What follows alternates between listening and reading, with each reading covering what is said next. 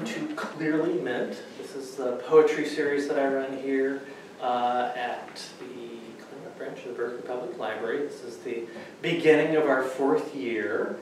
Um, we, we do three poets a year.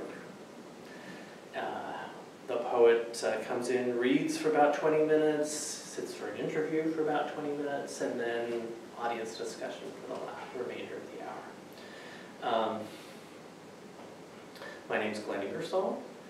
I'm a poet myself, and um, I'm happy that I get to run a poetry series where I work, and it's a nice place. And welcome. I hope you come back again sometime.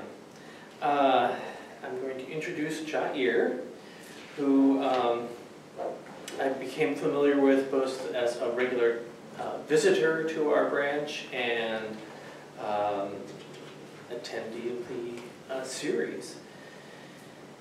I'm going to read from his bio. Jair is a poet, spoken word artist, arts curator, and activist. His books are Collage, an assemblage of divergent poetry juxtaposed. I think he has some copies of that with him today. Uh, also, Touch, poems and other writings of love, erotica, and sensuality. His work has been included in anthologies and magazines, from Mighty Real to Black Gay Genius. Jair performs on radio and television, Poets Jazz House, uh, Mine Mike Radio Show, are two examples, and coordinates spoken word, word events. Uh, Revolve Oakland Pride Creative Arts and Film Festival, Cue Ball Internet, Cue Ball National Queer Arts Festival, for example. Uh, Jair is a Libra, loves the Lakers, and is known for his fried chicken. So welcome, Jair.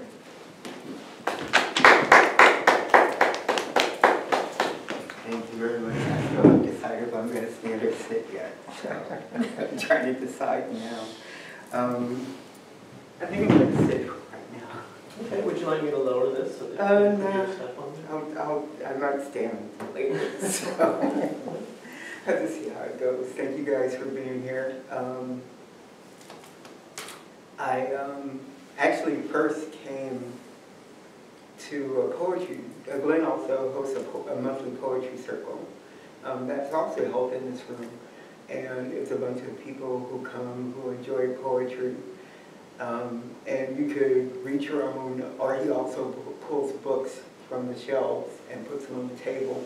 And you can read um, from some of those books. And I actually found some, uh, discovered some poets I didn't know um, through that, through coming to that. And that's where I first met him. And then, like you said, I've been a regular patron of this branch. Um, I was saying to John, it's probably my favorite branch of the Berkeley branches. This one and, and Tarea Hall Pittman are like, you know, two of my favorites. So, Thanks for the plug.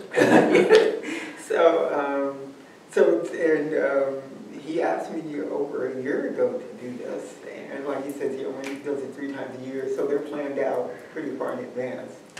And um, when he got the dates for this year, he emailed me, and I was like, sure, I'd love to. So, so thank you for having me here.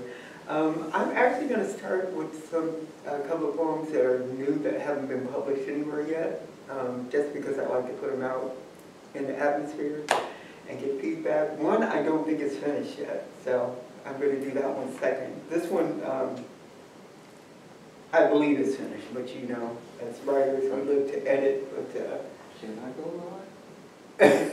that's up to you. Is it okay? What was the question? Is it question? okay to go live? He wants to go. I It's fine with me, it's up to, Yeah, it's it's up up to to you. um, our reader, whether, what his uh, permissions are. So this is called um, I Know Secrets. I know secrets. Secrets never told to me but passed on to me through my DNA. These secrets have abided in the abyss of family conversations and interactions but never surfaced. Hidden, unexposed, dwelling in the sunken place. Caskets lowered into the ground, secrets reside in the troposphere. Ashes are scattered, secrets escape like butterflies from cocoons. I want to tell them they are not mine to tell. They were passed on through bone marrow and occasionally trickle into the temporal lobe of my cerebrum, searching for release through unanswered questions and momentary glimpses of ancestral psyche. Like apparitions haunting some place in between this realm and the other side of transition, they wander, seeking. Like a gaseous mixture rising, they walked into the zephyr. I inhaled them, taking them into my body, soul, and mind. Secrets unknown, yet I know them because they were passed on to me in my DNA. And um, this is the one that um, I don't think is finished. And right now it's called Entitled for Now, because I don't have a title. So I am floating like a feather that never falls to the ground, sensitive, unguided, liberated in the zephyr, whispering into the atmosphere stories of the ancestors, infinite and supernatural tones passed from generation to generation that have been seated in my psyche. Through poetry and rune, hymn and sonnet, stanza and free verse, I speak their incantations into existence. So that may or may not be finished, I haven't decided yet, so I have to sit with it for a while. Um, okay, I'm gonna stand for this one. Um, this is uh, considered my signature piece. Um, a lot of people laugh when they see Jair, the literary masturbator. And maybe I'll tell the story about how that came about after I do the piece, or maybe we can talk about it later. So, Include in the interview if you like. okay, we'll do that. So, um, but yeah, this is my signature piece, and it has a couple of swear words in it, so if you're sensitive to that, um, just be aware of that. And, um, and I always tell people, if you hear people either reading or performing parts of this, they stole it. So. I'm a literary masturbator, a vocabulary manipulator, a spoken word exhibitionist. I get off when people watch me do what I do. Sometimes when I stand up in front of a crowd and bust what I got to give, it feels like my orgasmic dictionary fantasy coming true. You see, I hope these rhymes will seduce and titillate you, hiding your autoerotic sensibilities. I'm really trying to cast you in a terminology spell.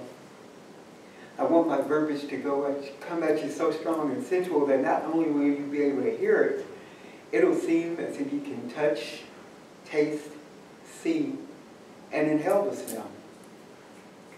The intercourse from my mouth to your ear will be like practicing the Kama Sutra, finding different ways to explore each other during our conjugal session, bringing pleasure and delight. It's just you and me, baby. This poem is for you. Let the Lexus work you and occupy your thoughts night after night after night. We'll find the rhythm and stroke until we tingle our body shivers from the expressions I give you from the thoughts that have been the foreplay in my mind. I throw out terms to take you to places unknown.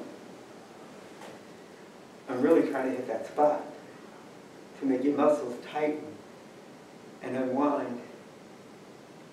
Brain fucking our way to intimate here using language as a lubricant and comprehension as a condom. It breaks. and now you're all pregnant with my pauses, just stating the seed syllables that I release as my shuddering spasm of word beats that slam into your ears and release the desire for you to give my thoughts a place to ripen, grow, and swell. Speak. Bear my offspring. Let our child come forth. You'll need no epidural to produce from your lingo lusting womb. It'll be born into a world where metaphor assemblies and a diversity of idioms that some poetry reading have come to commune. It's like I've taken some sort of herbal, verbal Viagra. I really have to feed this craving I have to get off. Nouns, verbs, and adjectives all conspire and command my phraseology penis to never go soft. But this scenario is really all in my mind. I'm going to save these feelings and stimulations for a time when I can use them for later. I'll be all alone, partaking in a furious session of glossorial self-love. I want to thank you all for, for listening to the Confessions of a Literary Masturbator.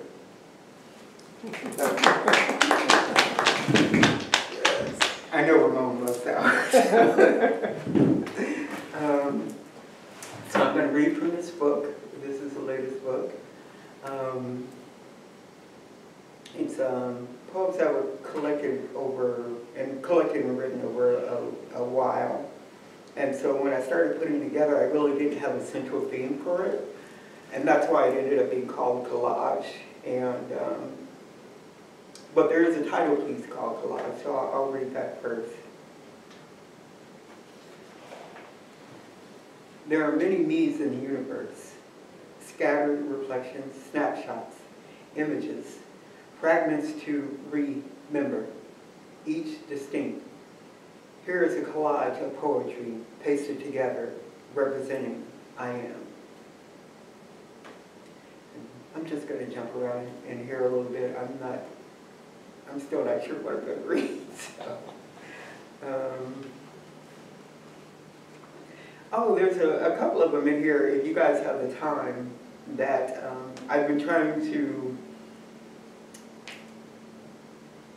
use this idea of video poetry. And so I have some uh, video poetry on my YouTube channel where I put the words to music and images. So um, if I read any of those, I'll point it out. So if you just want to go back later on YouTube and, and look that up, um, you What's can take a look. YouTube channel? Um, it is the Jair the Literary Masturbator. so, everything on the internet that has to do with me is either Jair the Literary Masturbator or the Literary Masturbator, except for Twitter. Um, the Literary Masturbator is too long and there it's just Lit Masturbator. So. Okay, I'll do this one. It's called Questioning, Questioning Like Langston. What happens to the blood shed on cement? Does it seep through and clot to give new life? Do people even realize someone died there or do they pass by to make their train? Does the blood hump the platform where Oscar Grant was shot? Does it speak, clinging to life, chest heaving as the blood gurgles out of his mouth? You shot me, he said. I have a daughter, he said, as people screamed from the train. Mistaken taser for gun fired point blank into his back. Mistaken taser for gun fired, point blank into his back. On a cement platform on the first day of a new year before dawn. Never again will he taste his grandmother's gumbo, no horseback rides for his daughter. His nieces and nephews will no longer feel his hands to tickle them. His mother will never hug him again. No more birthdays. As the train departs the platform at Fruitvale Station, wheels screeching, whistling into the cool night.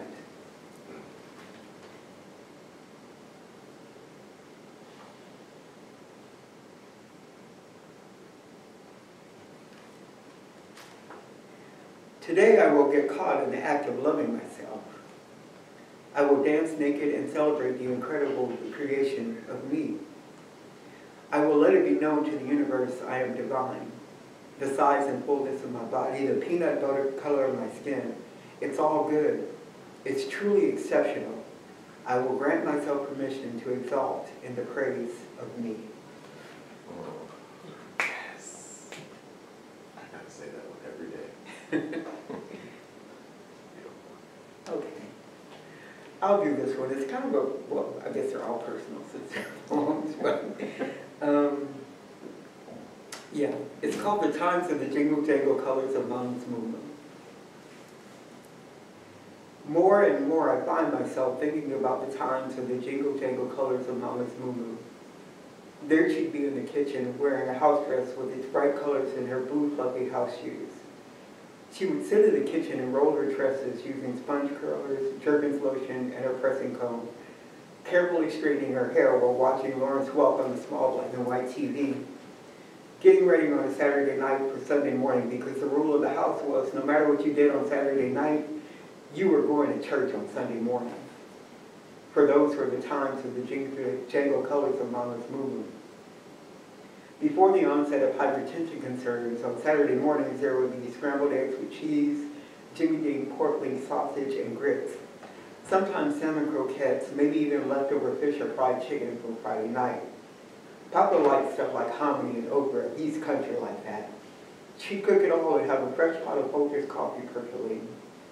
After breakfast, we could watch cartoons, Fat Albert and the Cosby Kids or Bugs Bunny. Then in between the shows, sing along to Schoolhouse Rock, Conjunction Junction, I'm Just a Bill, and 5, 10, 15, 20. For these were the times of the jingle jangle colors of Mama's moo Nobody could make a meal like my mama. One time the skin of the fried chicken burned. She peeled it off and smothered that chicken in homemade gravy. With the biscuits and rice she served, it made it the best meal. We even had homemade ice cream. Back in those days, we had to take turns turning the handle. And of course, now those machines are electric. It's amazing what went on during the times of Jingle Jangle Colors of Mama's Moo Moo.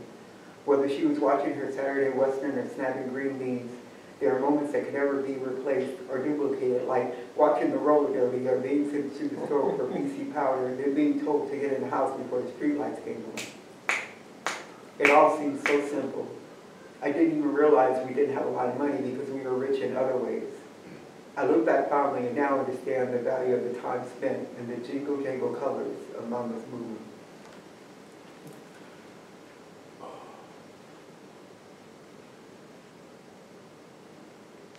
Okay, I'll do this one, kind of a fun one. Um, It's called Make It Rain. I think folks should tip poets and spoken word artists like they do strippers and drag queens. It's not easy to turn a praise that sets your mind ablaze, that leaves you spellbound for days and guides you to clarity as if you emerge from a maze, amazed. I love creating that word haze that makes you search for meaning in metaphor and simile, a, labyrinth of vocabulary. Use your realize to realize our truth is in the complexity of lexicon destiny. We don't tell real lies. When vocable is no longer valuable, we shall cease from speaking. The currency of our communication is in our ability to exchange idioms and lexicons as if they were commodities on the stock market. Invest in adverbs, adjectives, nouns, and conjunctions. What's your question? A dollar will make me holler. Make it rain if I ignite your membrane. Poets and spoken word artists deserve tips for the quips that spill from our lips. In the beginning was the word, so let it be written, so let it be done. According to Wallace Stevens in Adagia, the poet is the priest of the invisible. Hear me when I say, the verbiage I speak unlocks the mysteries of the universal love of language. I'm not just spewing forth verbosity or regurgitating logorrhea, I'm opening my heart for this art, and for that, I deserve a tip.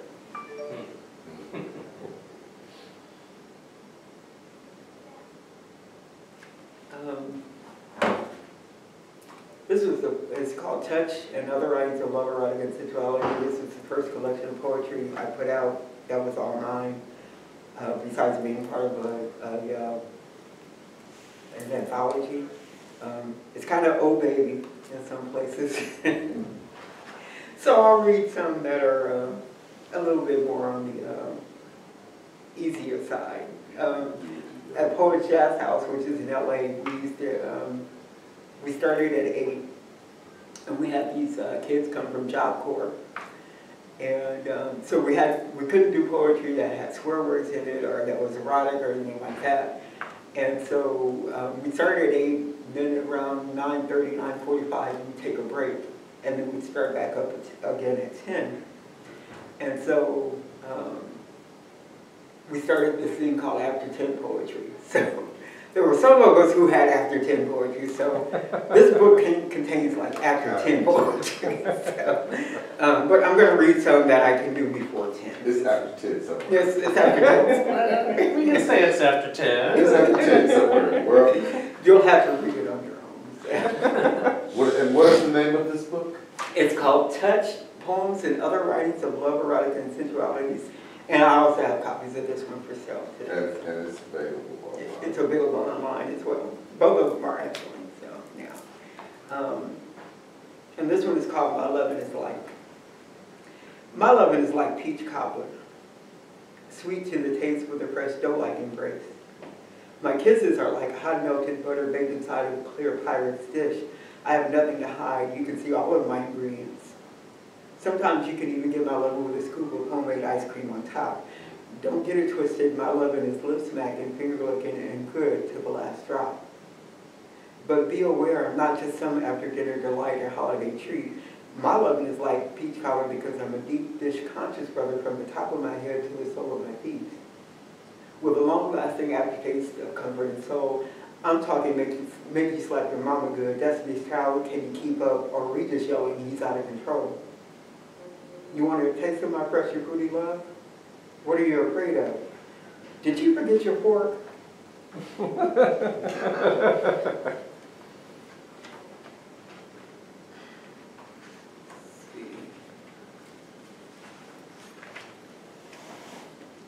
Um, well, I'll just read it and then we'll go from there. This is another in my um, series of um, when I was really in, in the whole literary masturbator phase. It's called Word Ho. Word Ho. I hear what they say about me. They call me a word hoe because I'll do anything for the term of praise. I'll give it up to a large adjective. I use the dictionary as a self-pleasuring aid and a thesaurus as porn. All I need is the ingestion of nouns and verbs and it's like Spanish fly. It gets me willing, hungry, and high. I'm the tramp that took on a whole team of metaphors, one right after the other. I don't know their names. I have no shame. I guess what they say about me is true, but I don't know what else to do. I hang out late night in places where poets, writers, actors, comedians, and other sus- suspicious types congregate. We verbally fornicate, and I hope to snag a bait that will titillate me for the night. I travel from place to place with no disgrace, sitting in coffee houses, lounges, and theaters, begging for tongues to wag and lick me all over with their expressions. I ask myself sometimes, was I abused as a child? Is that why I'm this way? Yeah, it must have been those teachers that molested me with Maya Angelou, Langston Hughes, and Ernest Hemingway. The Scarlet Letter by Nathaniel Hawthorne, I remember reading it for the first time. It took my vocabulary virginity, my colloquial cherry, and left me desiring with words free verse, novels, haiku, and, and words in rhyme. I too wear a large A on my breast for an adulterous admirer of authors. I can go back further in my memory and place the blame on the TV shows The Electric Company and Zoom. Yeah, that's why I'm always trying to come up with enough money to get a room in bookstores, those places that cater to word holders. They stock their shelves with books and magazines, luring me into their dens of literary stimulation. I read and get turned on by the classics. And then there's a new bookshelf writers who don't know my reputation. They call for me to dig in my wallet and come up with enough money so I will take them home. Sometimes they're with me for only a night, but sometimes if I've gotten something verbose and thick, it takes a while before we're done. But it's always the same, and before you know, I'm out again searching, looking, looking for more terms to penetrate me and make me theirs.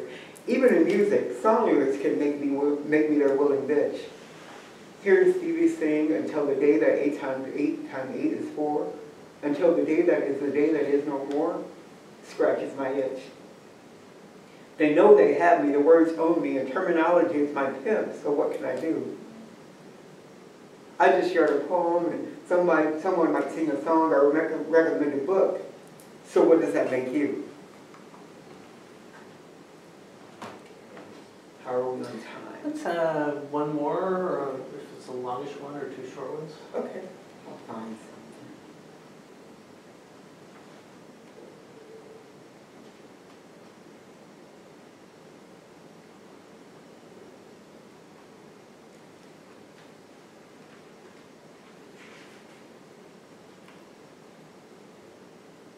Okay.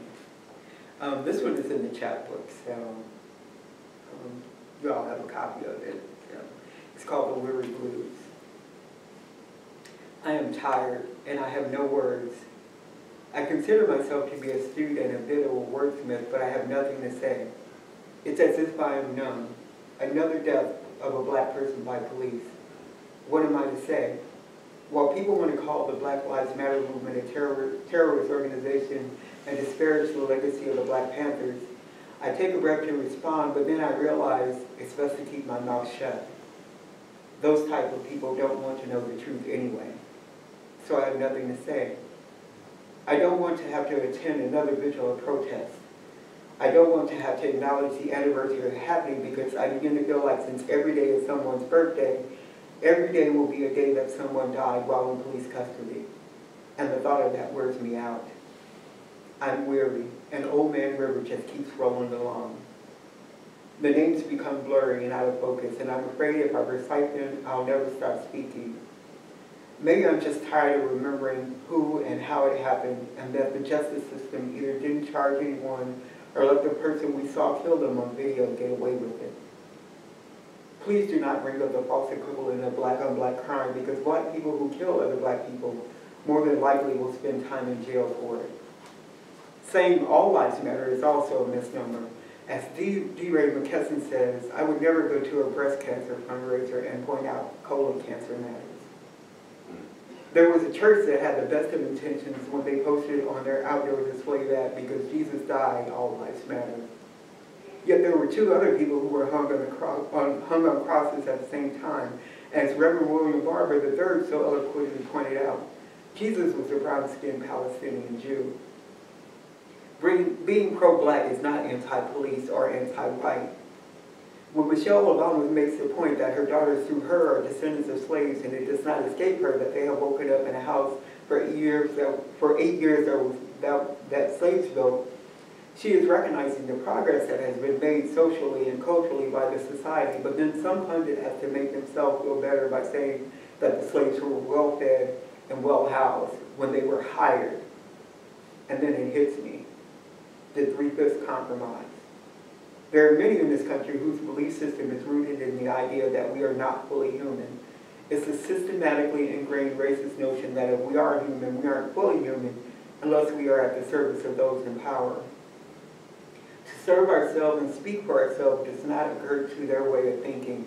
And my great, great, great grandfather somewhere in the atmosphere wondering what happened to that 40 acres and a mule that was discussed. But he got tired of waiting. And now that weariness has been passed down through generations and sometimes feels like a noose around my neck. It binds me like shackles on my wrists and feet. So, so, so Tamir, if you just hadn't, hadn't had that toy gun. Eric, if you just didn't sell those cigarettes. If you'd lost weight, you would have been able to breathe. Philando, if you didn't have that license to carry a gun, even though the NRA, NRA is okay with a white man having the Second Amendment right to purchase a semi-automatic weapon at a gun show without a background check. Oscar, if you hadn't rode BART that night, Alton side hustles are not for you. Freddie, if you just had to strap yourself into the back of that police van. You know what it reminds me of? It's like when you fall and skin your knees and they bleed and scab over. You know there is healing under the stab of injustice, and even though you are patient, another incident happens to rip the stab off your knees, exposing them again to the pain of the inequality. How long do we have to be on our knees praying, waiting for justice? I am tired. I'm on a downer here.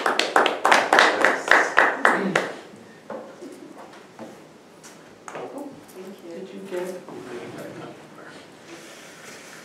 Okay, let me uh, s- lower this a little bit.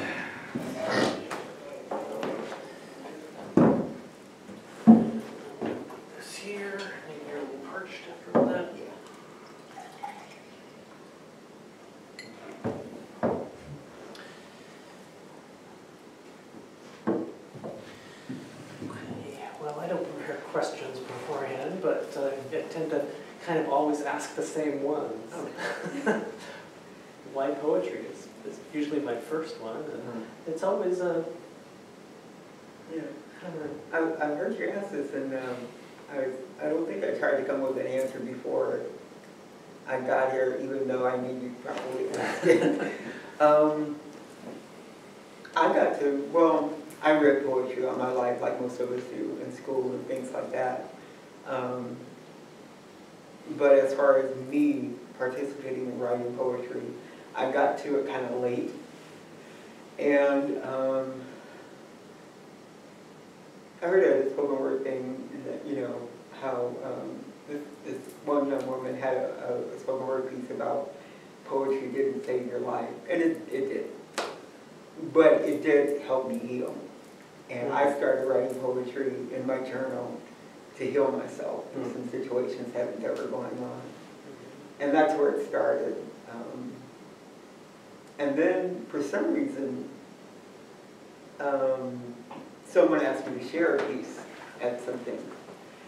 And so I did, I shared it. And then people came up to me, and they actually liked it. I was like, really? Because, you know, it's so personal, it's in my, I mean, I actually took my journal to that first thing. I didn't print it out, or, I took my journal, and it was, it was handwritten, wasn't typed up.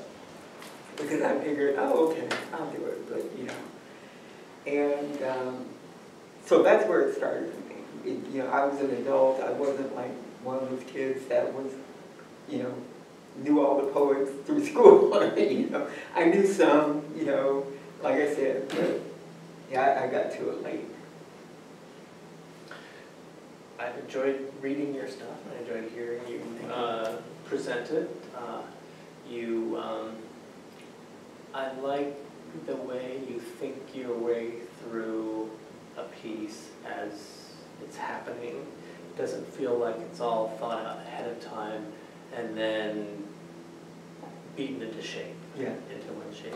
Um, The Weary Blues, the one that you read, that I included, that I included in the um, chapbook, uh, has that thoughtful quality. um, And it's not just anger. There's anger in it, but there's also humor in it, and sadness, of course. Um, Can you talk about your process, writing process a little bit? Yeah, um, like I said, with the, the second piece I read, I don't know if it's finished yet. Um, I think, um, well, I'll, I'll just talk about me. I, I, I write now on my computer, um, and so it's saved. And things I don't think are finished yet, I'll go back and look at, um, and then I'll know if it's finished. With that particular piece, The Weary Blues, I knew what I wanted to say. Um, Sometimes I have the germ of an idea of what I want to say. Um, But I don't know how to put it together. Um, I saw, I think it must have been on PBS, they had um, a writer sing, and it was with uh, Rita Dove. Um, I'm forgetting everybody who was there, but it was like a a poet, a journalist, a novel writer, and um, I think it was uh, the guy who did, who does all the law story, stories that have become movies. Can't think of his name right now. But they were all talking, and um, one of the things they suggested writers do, they said, if you have the idea, write that down, and then you can either write up to it and then write backwards to it. Um, and so that's what happened with that one. I knew what I wanted to say in the middle of it. I knew I wanted to call those men's names. That part of it, I was sure about. But I didn't know how to get there. I was like, where do I start? and then how is it going to end? And so that, that process was like, I almost had to meet the poem in the middle to get to that one. Some of them are, I, you know, they just come out. Um, when I first started writing, writing, I didn't use a thesaurus. I didn't, you know, because I was like, oh, it has to be pure, it has to be organic, it has to, has to come from me. And then I was like, you know, you use the water, the word water a lot. Let's find another word. you use the word atmosphere a lot. Let's find another. You know, but it was, you know, I was, oh, it has to be pure. It has to come from me. And, and then I was like, uh, then I didn't want to use a poetry form. And I was like, no, I, I you know, put this in a form or, you know. Um, so it, Yeah. it, it goes back and forth for me sometimes. Yeah, it's uh, like the variety of the forms that you, Yeah. you work in, uh, from prose-like to um, couplet rhyming Right. so. Um, Do you do other forms besides what we, we're calling poetry? Um, plays or novels or essays? I'm working on a short play, what I think is going to be a short play. but um, I actually, well, Enrico knows this, um, we used to work at a place called Topaz, and we did hotel reservations, and some of the things we heard from people over the phone. And I used to turn to them, I said, you know, if I was really smart, I'd take a playwriting course, or I'd take a screenwriting course and turn this into a TV show. The stuff we hear, you know, but I've never done it. So um, that's my next move is to, because I have ideas, but I don't, I don't know that world enough to, to say I can write a play. So there's some tools that I think I need to learn to complete it. Um, my next project, my next book, I'm hoping is to be a collection of actually flash fiction, um, where it's um, some fiction stories, but it's not a full novel, but a collection of, of stories. Um, I was talking to this uh, about another writer. He said, "I don't know if I can write fiction, but I know I can lie." I said, "Well, you can." I said, "Well, you can write fiction and you can lie." So I said, "All you have to do then is come up with some characters' names and situations and things like that." So. Um, Give it context. Right, so I said, well, yeah, I can, I can do that, you know, so, but, um, I, um, I think there are some things I need to do, just from a technical standpoint, to, to make that happen, so, there are other things I, I, I definitely want to do, um, but, um, you know, I, I, I want to take some steps that it's done to my satisfaction. Well, I'd like to hear that you're working on developing, I like the way you describe uh, the development of your craft. Yeah. Uh, From having something to say to discovering different ways to say it. Yeah.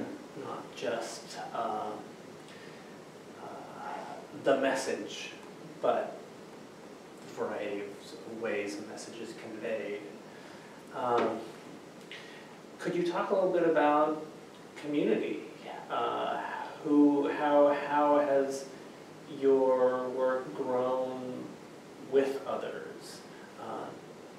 Just from, from you starting, you know, alone in your notebook to, you talked about a, uh, a jazz, what was the? Yeah, it was a place in LA called Poets Jazz House. Um, I actually used to perform with a vocalist um, where he would sing and I, you know, I, you know, um, and we put out a CD, which is, there's a copy of it on the cover of the book. Um, and he and I started because there was, I, would, I used to go to this um, group called uh, In the Meantime, which was a group uh, for uh, black gay men. And the coordinator of the group, his name was Jeffrey King, he was having a birthday. He said, hey, will you come do a poem for my, you know, I said, yeah, I'll come do it. And I had this one piece that um, I knew, there's an old song in the black church. Um, I, I think it's called Pray For Me. Probably, oh, well, now pray. Yeah. and I knew I wanted a vocalist for that.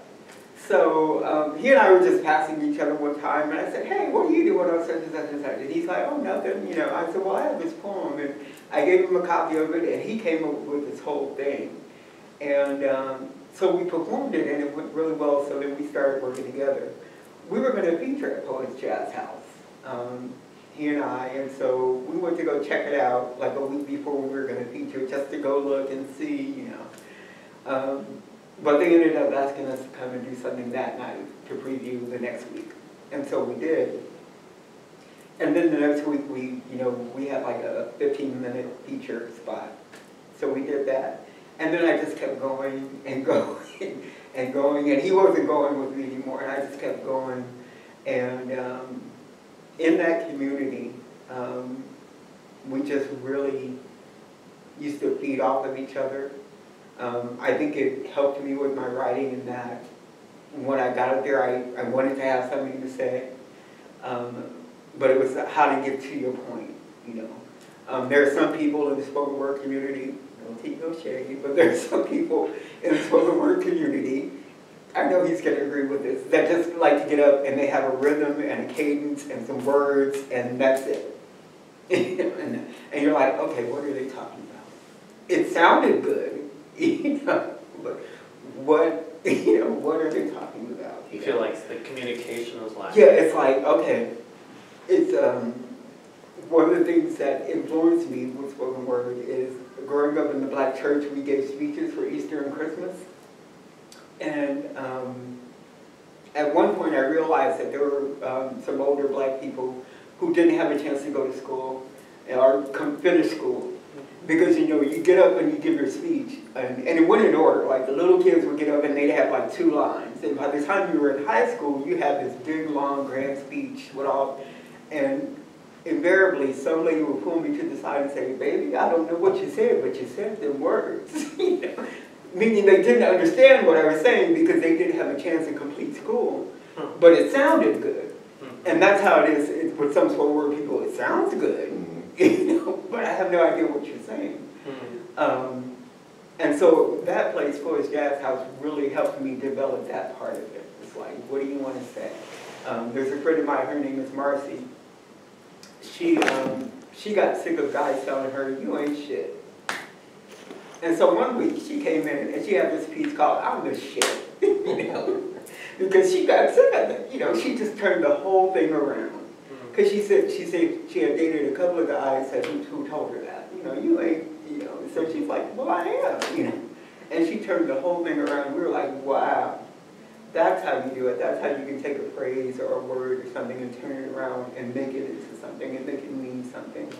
Um, and um, it used to be every Thursday. And like I said, we started at eight, we took that break and then, uh, you know, but we had uh, poets and, and singers. And so it was a lot of influences. Even comedians would come in. And even with co- comedians, I think the comedians who have something to say, at least to me, are the ones that you really want to, you know. So you, you go back and forth from Southern Cal to here? Um, not as much, no. Okay, So you're mostly living here? Yeah. What are your um, favorite venues here? You know, I haven't found a regular venue here. Um, we both were uh, going to uh, the Grand Lake, well, it was called Perch. Yeah. Um,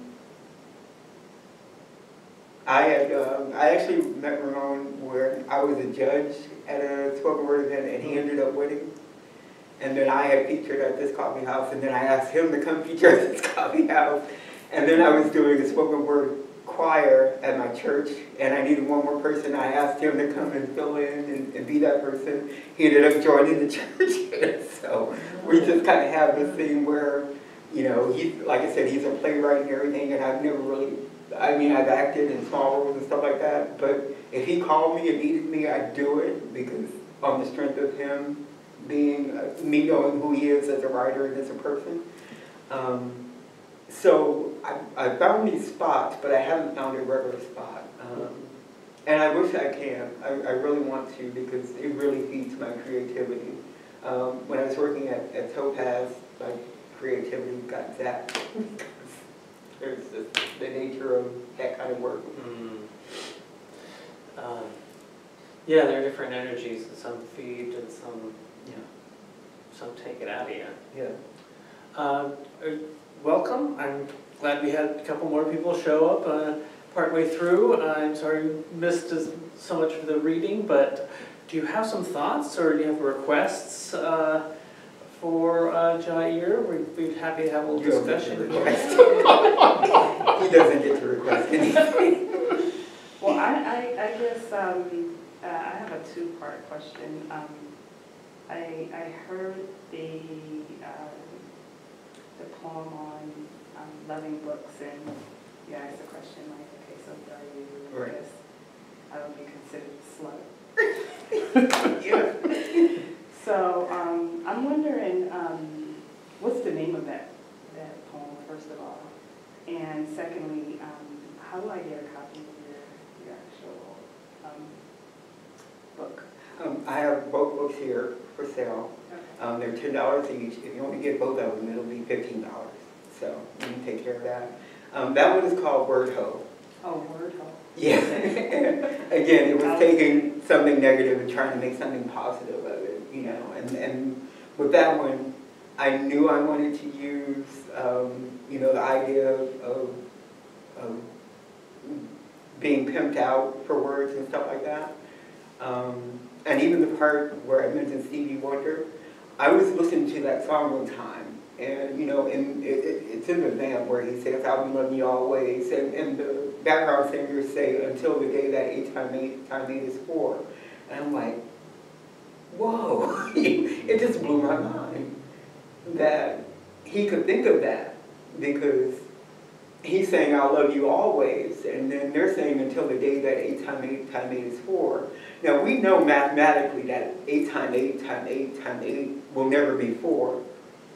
So that's how intense he is about meaning he'll love you. It just really blew my mind, you know, that he could come up with a, a phrase like that. Um, and so I knew I wanted to include things like that, that it was like, you know, wow, that's, it's mind blowing that until the day that I'll be loving you until the day that eight times eight times eight is four. Mathematically, we know that can never happen. So that's a really long time that he's making this declaration. Um, Until the impossible happens. Right, you know, and, and so to include that was just very poetic to me. I think we don't give enough credit to people like Stevie Wonder or, you know, Paul McCartney and other people who come up with these lines that are like, that's really poetry, you know. And um, I think um, we miss out a lot of, a, a lot of times, even with, with rappers. Sometimes rappers come up with stuff and it's like, whoa, stop everything. Did you hear what he just said? Uh, with spoken word, uh, which, uh, when I was introduced to poetry, wasn't really a thing. Um, But then along came spoken word and slam. Yeah. Uh, and performance got really got credit Mhm. where you know the, the cafe poets who was like drone on and they're like you know "Iron Mother after and you know you could barely understand what they're saying switched uh, the the slams and the spoken word competitions then really brought performance to the fore was that always available when you started? You said you got kind of started kind of late. Yeah, it was. Um, at first, I was afraid of it. Like I said, you know, growing up, in, especially in the black church, um, getting up and doing those speeches, um, being able to speak well was considered a gift because I come I, I come from a background where there are people who just they didn't have access to be able to finish school. They didn't, you know, they had to start working when they were young, or you know, they from the south and, and had migrated north and, and things like that. So when you were able to speak well and communicate well, they considered that a gift as much as singing or as much as, you know, it was really a gift. Especially a young child, if you were able to get up there and not be nervous. I'm the youngest of 10. And um, when those speeches would come around, my family would like drill it into me because like you're not gonna get up there and embarrass us. You're gonna you're gonna know your speech. You and and damn you, you're gonna be one of those kids that get up there and get nervous and cry. You are that is you're not gonna get up there and embarrass the whole Trice family. but little did I know, I had a you know I had a penchant for it. You know that you know I I felt comfortable doing it. Um, I think I've said this to, to, to you before, and I, I know I've said it to, to Ramon before. Uh, poets, I feel, and spoken word artists, are introverted hams. you know, we start off where we're like, it's very personal. You know, these are my feelings, da da da. da. And then once you get us up there, we don't want to get off the stage because it feels so good to get feel that energy and get that immediate feedback of spoken word. You know, and so there's just a, a, a, an energy to it. When it's good, when it's going well, when you're in an environment where people are supporting. There are some environments in, in the spoken word community where they're judging you and you know picking you apart and things like that. And sometimes that doesn't even have to do with what you're saying or performing. But, um, but yeah, there's something to that. So for me, it started there. And then as, when I got to places like Poets Jazz House, there's a great old one that's been, actually I heard had been going on since the 60s in, um, in Venice, California, um, called, at, at this place called Abbot's Habit. Um, that I heard some of the San Francisco beat poets used to go down there and perform and things like that. Um, I think also the influence of like the Harlem Renaissance, you hear about people getting together and having rent parties or, you know, and, and the poets would get Yeah, there's definitely a tra- tradition of performance, Right. it was kind of fallow when, when I, Yeah. when I uh, hit the scene. We have a comment or question? Odd question, Yeah, because even your name, or your, your performance name, is um, fearless, I should say. A lot of your work is very fearless. Did you start off that way? How did you get to a point where you didn't really care how you hit people with your words? well, to be fair, like I said, when I first started sharing, especially publicly, um, a lot of the writing was to heal myself, so it was very, very spiritual. You know, it was very about overcoming and about being able to, to endure and things like that, which is included in the book as well. Mhm. Um, the literary masturbator thing came because I had this one particular night where I was at Poet's Jazz House, and you know we'd get up and share for maybe three to five minutes. But this one particular night, something was going on, and so the, the producer and the host was like, "Keep going, keep going, keep going," and so I kept going, and I was up there for maybe ten or fifteen minutes, and I just felt this energy where I was, I Go ahead and say it. I felt this energy like after sex is, you know, that blissful feeling after you have really good sex where you're like, ooh.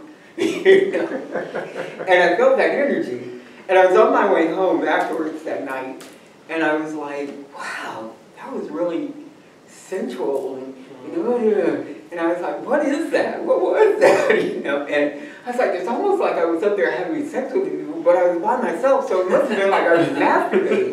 And, it, and that's how that whole thing came about. Now, you know when people see the name, it's pretty provocative.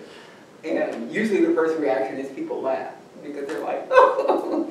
And I think that's because a lot of times in those instances, people aren't uh, comfortable Mhm. with things like saying masturbation or masturbator out loud. They're just not comfortable with the thought of it. Um, it's why I like to perform the signature piece, so people have the context of where it comes from. And it's not just, I'm saying it just to shock you or to be provocative or anything like that. There is something behind it. Um, there are times when I shied away from it. You know, I'll, you know, I was like, just introduce me as Jair, don't, you know, 'cause I don't want to have to live up to that whole thing. But, um, Yes, I did have, I did, let me, Go ahead. are you done? Okay, I, I did have some issue with my supervisor over calling the literary masturbator. I was, Uh, when you said, when you, when I got the uh, chapbooks and I saw it on there, I was like, he's gonna have this in all the public Yeah, libraries. you yeah, know? yeah, I like, oh my God. I said, we have banned books week, damn it. We have- we- We can do this, this is not an X-rated word. Yeah, and so, yeah, I, um, but it, you really have to stand in yourself to, to be able to do it. Um, That's, I mean, I hope that doesn't come off as egotistical, but you really have to stand in yourself and, and know who you are to be able to take that on. Um, And, but that goes back to what I was saying earlier, like, you know, there's a lot of people who, who, um, who get up and you don't know what, what's behind what they're doing. And I'm not talking about new people, because I'm very supportive of people who are getting up for the first time or, you know, or, you know, are beginning to express themselves, who are trying to find themselves. I'm not talking about that. I'm talking about people who, Sounds like a pet peeve. yeah, it is, really is. It really Uh, I is. don't know. Do we have other, uh, I want to say, you know, use that phrase, an introverted ham. And I think um, it's like, it just kind of explained, it was like a little click in myself when you said that. As, as I encounter people in my life, there is occasionally a draw to some people. And that from, from that first interaction, I wouldn't necessarily know why. It's like, and I see you, you're not introverted, but you're very much um, content with yourself. And so, but there was always for me, from the first time I met you, it's like, I'm not sure what's up with this guy, but there's something there. And it's like, and just being here at this, at this event lets me know what that thing was that was drawing me. And, and so it just, it was really amazing how you just clicked that. It's just a click, now I know. Yeah. And so it kind of helped me, it's like just now that I, as I, as I meet other people like that, it's like I'm just waiting to discover what that click is.